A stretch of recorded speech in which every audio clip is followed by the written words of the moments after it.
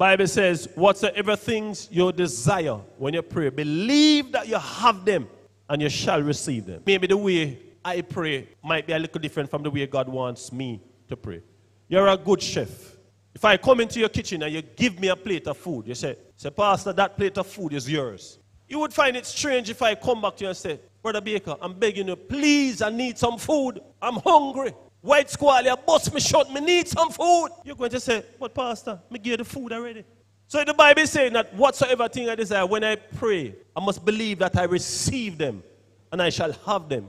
Then when I go down to pray, my prayer will be more geared toward giving God thanks for what He has done and is doing and will do than spend time begging God and complaining and say, God, you know, see, you know, see what kind of pressure me under. Lord, help me, Jesus.